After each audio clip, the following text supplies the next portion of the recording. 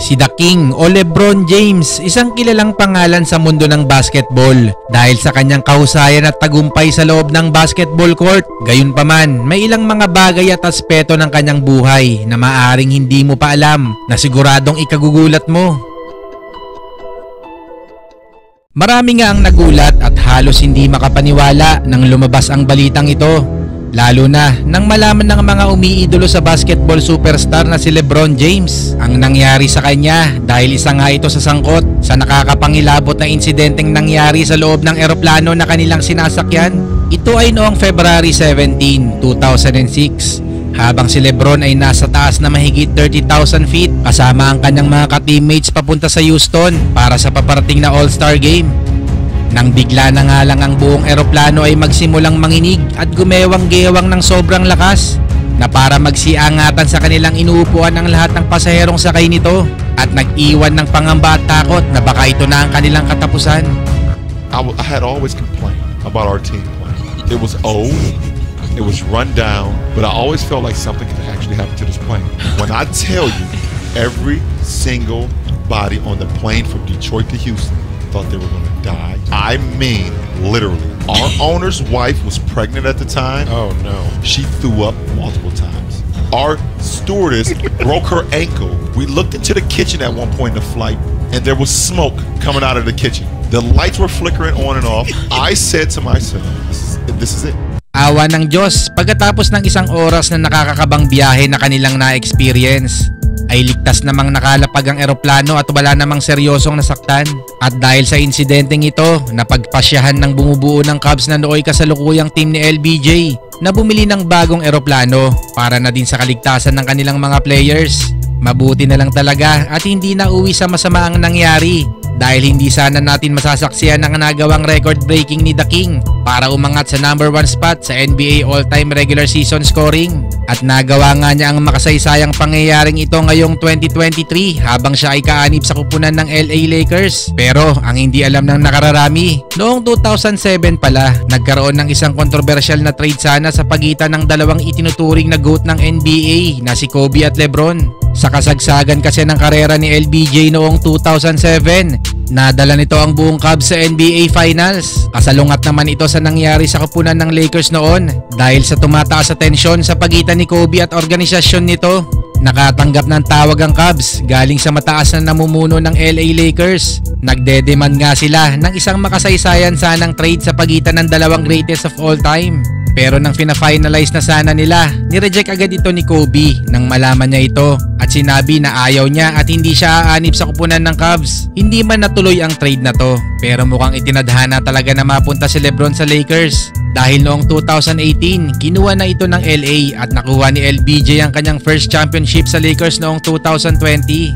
Kaya naman mas lalo pang dumami ang mga umahanga dito. Pero may isang bagay na maaaring ngayon mo lang malalaman tungkol kay Lebron James. Alam nyo ba na kaliwete talaga itong si LBJ? Hindi ka nagkakamali ng rinig. Dahil ipinanganak nga itong kaliwete. Pero kinalaunan habang ito ay lumalaki, nadiskubre niya na nagagamit niya din ang kanyang kanang kamay para sa iba pang bagay. I have no idea how I became a right hand basketball player. I think it was probably Michael Jordan, Penny Hardaway. Yeah, I'm pretty much a, a left hand guy. Uh, I don't know. I just I, I work on my craft. I work on both hands. Kadalasan makikita at mapapanood natin si Lebron na gamit ang kanyang kanang kamay kapag ito ay naglalaro ng basketball. Pero minsan, may mga pagkakataon na ginagamit niya din ang kanyang kaliwang kamay. Sa mga layup at sa pagdunk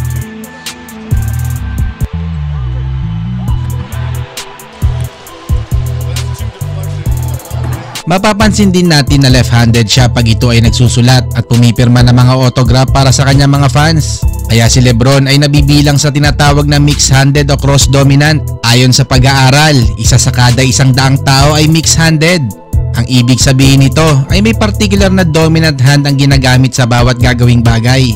Katulad nga sa kaso ni Lebron, dominant right hand ang ginagamit ito pag naglalaro ng basketball at dominant left hand naman pag siya ay nagsusulat. Ayon sa pagsasaliksik ng mga eksperto, ang taong may mga ganitong katangian ay may kakaibang lakas at pambihirang galing. Kaya hindi na nakakapagtaka na kahit 20 seasons na naglalaro itong si The King ay napakalakas pa rin ng katawan nito tulad ng isang superhero. Scoop Sa katunayan, pinatotohanan ito ng isang basketball legend dahil sa ginawang kabayanihan ni Lebron James sa kanya.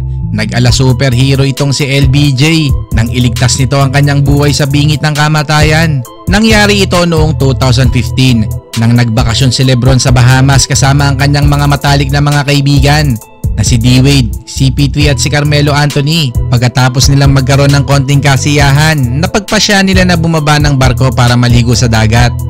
Yun nga lang ilang minuto lang ang makalipas, napansin ni Lebron na bigla na nga lang nawala sa paningin niya si Carmelo Anthony. Agad niyang tinawag ang kanyang mga kasama para hanapin ito at laking gulat nilang lahat nang makita nila si Carmelo sa malayo na nalulunod at lumalaban para sa kanyang buhay. Sa mga ganitong sitwasyon, biglang dumating ang bayaning tagapagligtas. We jumped off the boat in the Bahamas. We went, everybody swam to the little grotto.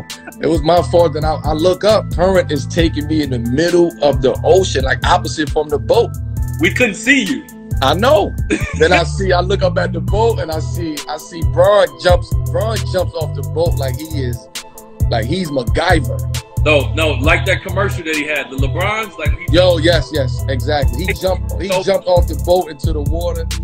He was bringing me back with one, with one arm. He's swimming, he's swimming with the other arm, and I, he carrying me in, in one arm.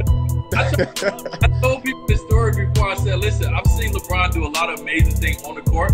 that was special. Off the court, when he went and saved Melo Nah, life. he's nah, he saved my life. I, I I can't hold you. He saved my life. He saved my life.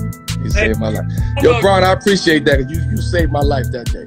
Hindi talaga matatawaran ang pagiging mabuting tao ni Lebron on and off the court. Sa katunayan, napakaraming video ang mapapanood mo na nagpapakita ng kabutihan, hindi lang sa kanyang mga kamag-anak at mga kaibigan, pati na rin sa mga taong nakapaligid sa kanya.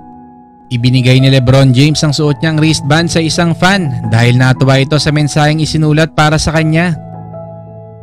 Of King James is uh, Cleveland Cavaliers security. Young man sitting over on the courtside seat. Muling ipinakita ni Lebron James ang kanyang pagiging makatao sa kapwa nang aksidente nitong masagi ang babae nung siya ay naglalakad ng patalikod. Agad naman niya itong tinulungan tumayo at niyakap.